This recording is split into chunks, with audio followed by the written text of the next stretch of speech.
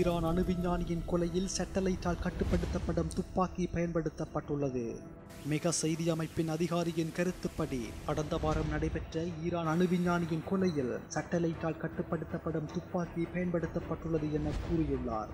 கடந்த நவம்பர் இருபத்தி ஏழாம் தேதி தெஹ்ரான் வெளிப்புற பிரதேசத்தில் துப்பாக்கிச் சூடு மற்றும் கார் குண்டு வெடிப்பு போன்ற தாக்குதல்களால் கொலை செய்யப்பட்ட மொக்ஷன் ஃபகிஷதே சட்டலைட் துப்பாக்கியால் செயற்கை நுண்ணறிவு தொழில்நுட்பத்தை பயன்படுத்தி குறிவைக்கப்பட்ட வேளையில் தலைநகரின் கிழக்கு பக்கத்திலே ஹைவேயில் சென்று கொண்டிருந்துள்ளார்.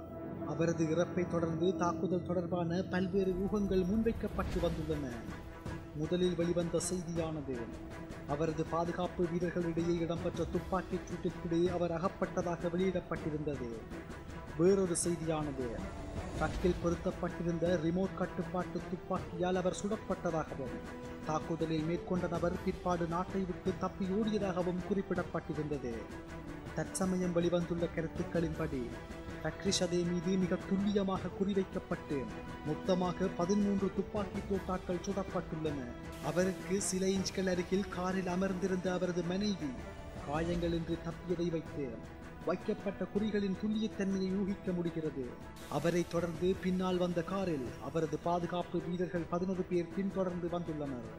இந்த வருடம் ஈரானின் முக்கிய புள்ளியொருவர் குறிவைத்து தாக்குதல் மேற்கொள்ளப்பட்டு கொல்லப்பட்டமை இத்தூடு இரண்டாவது முறையாக காணப்படுகிறது.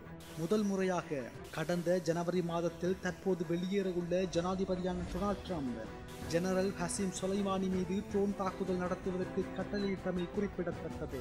தெஹ்ரான் இவரது மரணத்திற்கான காரணமாக இஸ்ரேல் மீது குற்றம் சாட்டியுள்ளது. மேலும் கடந்த இரண்டாயிரத்தி பத்தாம் ஆண்டு முதல் ஈரானின் கொலை செய்யப்பட்ட பிரபல அணு விஞ்ஞானிகளின் எண்ணிக்கை தற்சமயம் ஐந்தாக உயர்ந்துள்ளது. இது குறித்து இஸ்ரேல் எந்தவித கருத்தையும் வெளியிட்டிராத போதும் கடந்த இரண்டாயிரத்தி பதினெட்டாம் ஆண்டு ஏப்ரல் மாதம் நடைபெற்ற ஈரானின் அணு தொடர்பான கவப்பையின் விளக்க காட்சிகளில் பிரதமர் பெஞ்சமின் நெதாயான் ஜாகு தனிமைப்படுத்தப்பட்டிருந்தமை குறிப்பிடத்தக்கது.